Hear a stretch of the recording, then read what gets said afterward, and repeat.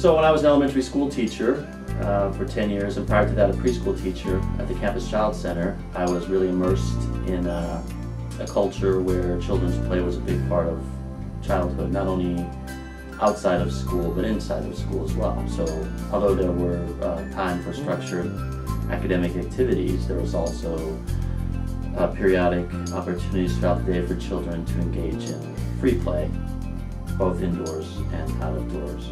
So I saw, throughout the 10 years I taught, a marginalization of children's play, and it's sort of, not, it wasn't, it was getting pushed out of their lives inside of school and outside of school. Inside of school for more time for academic learning, and outside of school uh, as their lives became more structured, you know, with uh, different activities, organized sports, uh, music lessons, etc. So, so the it seemed like the times of children, um, you know, coming home from school and throwing a book pack in the kitchen table, grabbing a snack, running outside, and just getting lost in play sort of wasn't happening anymore. So I became interested in societal factors happening in America that were sort of causing teachers at school and parents outside of school to marginalize children's play. I think it's it builds on the idea that children today have, have problems accessing free play.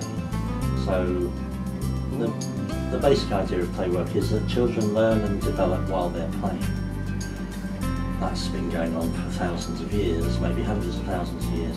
Um, but today there's a lot of reasons why children don't have the same access to free play as they did in the past. The main function of playwork will be to create a space that enables children to play freely.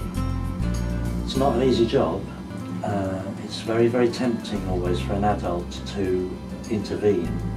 So if you're, if you're there to allow enable children to play freely, they will play freely and they'll do some dangerous things, some very risky things.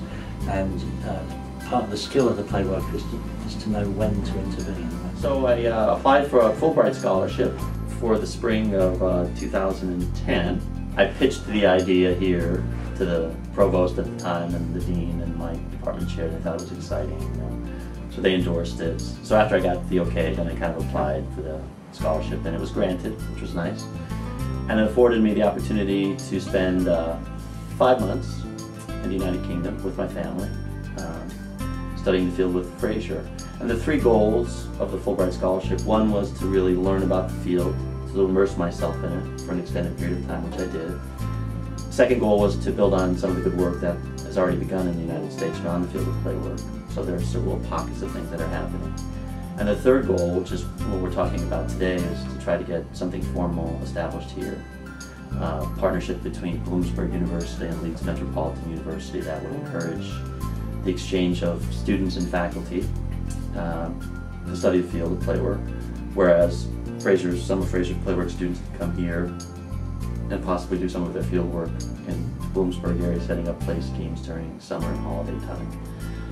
And then our students could also go over and do some of the, field work there. And then all, in addition to field work, also, you know, taking some courses at the Fraser teaching some courses here. So the thing that surprised me most, or that was most impressive really, was that there, at that time, and the federal government, uh, there was a national policy and provision for play. So they actually have a policy written at the federal level or the national level that says play is important in the lives of children. Um, we're going to dedicate time, money, and resources to facilitate children's play. So being that there was a big pocket of money at the federal level, then that was sort of filtered down into the local provisions. So all these local communities were able to come up with these wonderful ideas in terms of uh, not only uh, supplementing some of the adventure playgrounds that were presently there, but also to build new play, play spaces for, for children. Um, so there was a national policy, which was very impressive. And, you know, I'm not downplaying the importance of academic excellence, but I think to uh, marginalize the other types of development and play being a big part of that is terribly misguided.